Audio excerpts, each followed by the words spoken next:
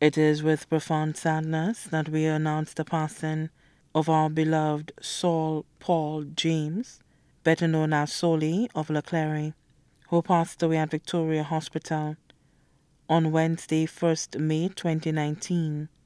He was 59 years old.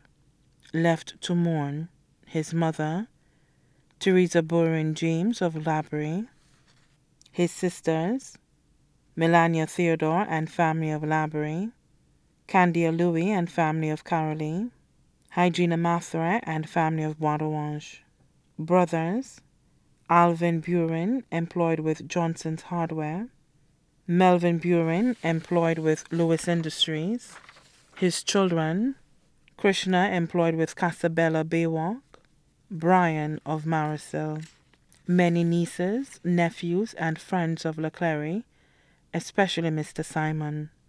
The funeral service for the late Saul Paul James, better known as Solly, will be held at Lazarus Funeral Home Chapel, Ville on Thursday, 16 May 2019 at 10 a.m. The body will then be laid to rest at the Choc Cemetery. The body now lies at Lazarus Funeral Home, Ville May he rest in peace.